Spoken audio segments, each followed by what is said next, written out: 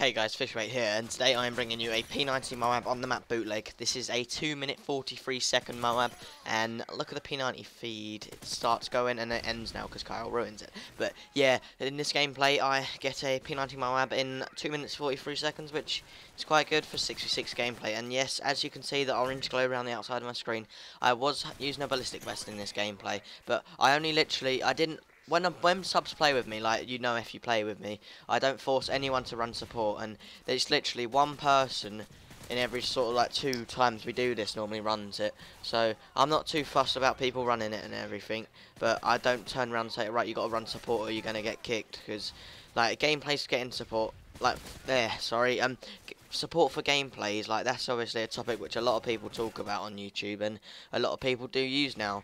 But this game it's it's not generally that hard but when people like J Nasty, Exquisite and that are going for these quad Moabs, Penta Moabs they're gonna like really want a bit more health, a bit more help by the UAVs and that.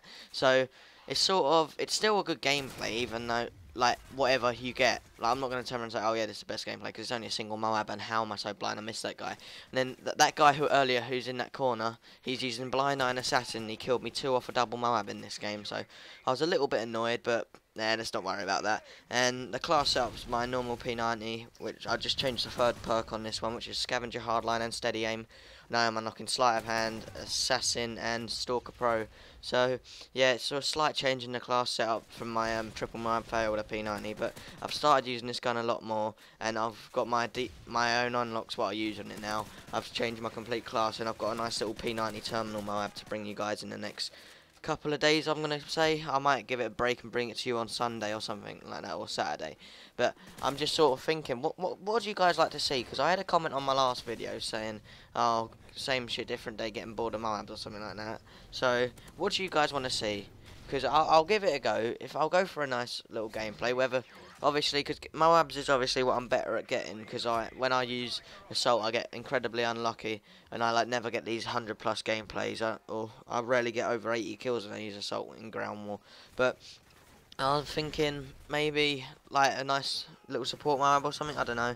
That would be like sort of nice to bring you once in a while and just random classes. If anyone wants to leave a random class in the description, I'll try get a Moab with that random class. But like nothing stupid. And wow, he just got turned on like a little boss. Um, I pick up the Moab. I think I shoot him through the floor and pick up the Moab in a couple of seconds.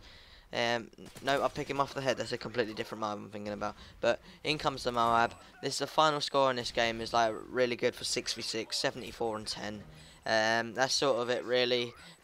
I'm going to finish the commentary now. I've been Fishbait or John and I'd like to see you in the next video and bye.